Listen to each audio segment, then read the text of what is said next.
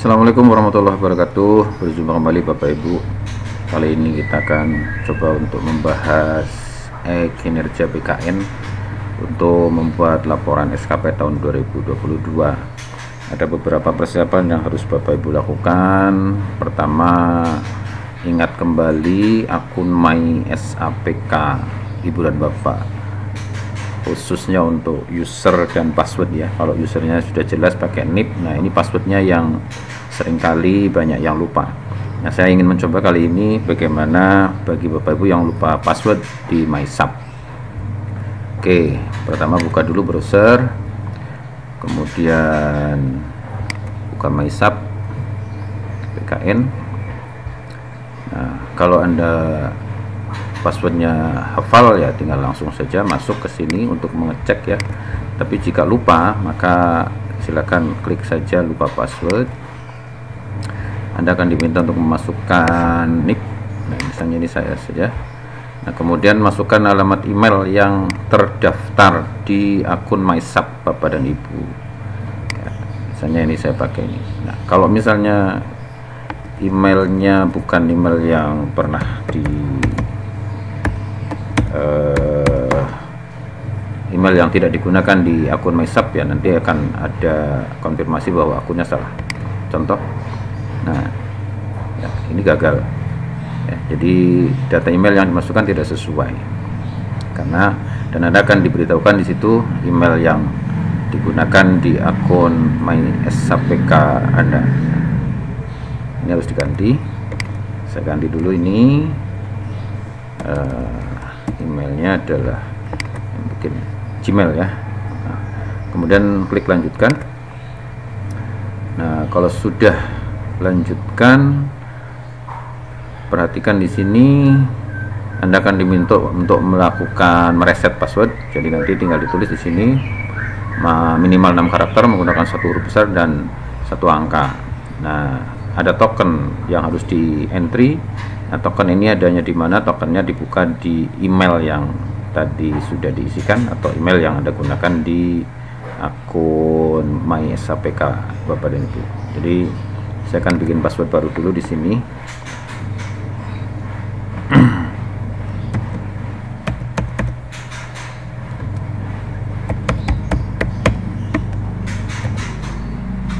Nah, kalau Ibu dan Bapak khawatir salah dalam menulis password bisa diklik di icon mata di sini untuk melihat apa password yang sesungguhnya yang Bapak Ibu tulis atau Bapak Ibu ketik. Ya contoh seperti itu. Kemudian boleh tutup lagi. Nah kemudian ambil dulu tokennya. Untuk ambil token ya berarti Bapak Ibu harus buka email. Nah, buka tab baru saja di situ.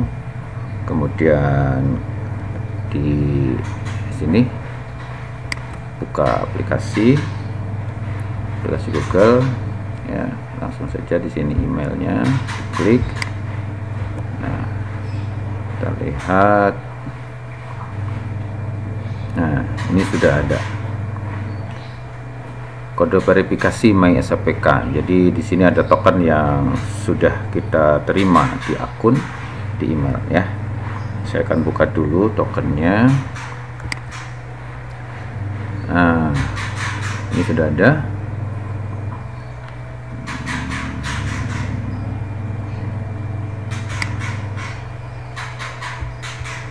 Empat Januari pukul 8 oh ini tadi pagi ini ya. Nah ini di copy saja. Kemudian kembali lagi ke mesa PK nya tadi passwordnya sudah diganti. Nah di sini tokennya tinggal paste saja tuh kemudian uh, setelah passwordnya dibuat ya kemudian tokennya sudah dimasukkan kemudian klik reset password. Reset password. Klik. Oke okay. reset password sudah berhasil. Klik oke. okay ini ketika muncul seperti ini Bapak Ibu ini jangan langsung simpan ya karena ini usernya bukan user Anda ini. Kalau mau di sini ganti dulu usernya. Nah, udah apikan saja ini never saja ya. Oke. Sudah terreset passwordnya. Nah kemudian buka tab baru kita akan masuk ke e-kinerja BKN ketikkan saja di situ e-kinerja.bkn kemudian enter saja langsung. Muncul di sini pilihan. Ada kinerja 2022 klik. Oke sebentar masih loading. Nah sudah muncul laman depannya ya pangkalan datanya kinerja masuk klik login. Nah, kemudian masukkan nick bapak dan ibu. Password yang tadi sudah dibuat ya. Nah, kemudian sign in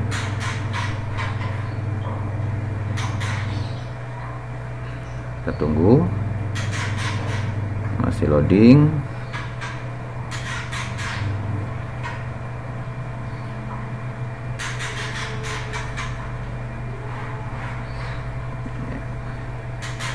Loading server Bapak Ibu. Kita tunggu sebentar. Dan sudah masuk bisa dilihat di sini. Nanti akan muncul nama ibu dan bapak kemudian kita bisa explore dulu data-data yang ada. Ya ada beberapa menu. Di main menu ini di sini ada profil. Bisa dibuka terlebih dahulu dicek profil ibu dan bapak loading ya. Sudah semakin banyak yang mengakses jadi servernya sudah mulai padat sudah mulai loading lambat Oke, sudah muncul. Bisa dilihat di sini ada data pribadi.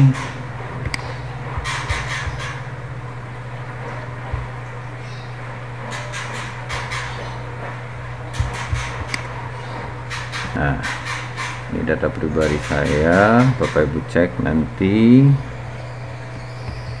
apakah sudah sesuai ya instansi pemerintah Kabupaten Pandeglang kalau untuk saya ya jenis pegawai nah, di sini nanti jenis itu ada pegawai ada pimpinan ya.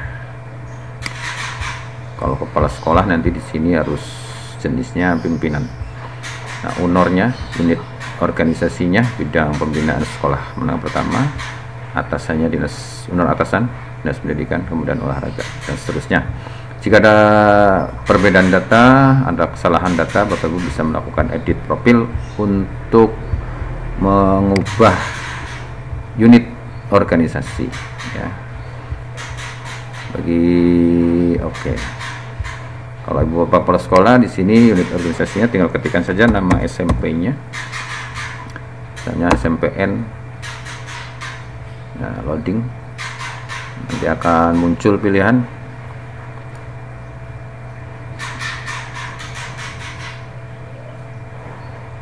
ya misalnya nih. Satu Angsana satu Banjar satu Bojong dan seterusnya. Ya tinggal pilih. Misalnya satu Bojong nanti tinggal oke. Okay. tapi ini bukan owner saya saya close. Data atasan bisa dicek dicek di sini.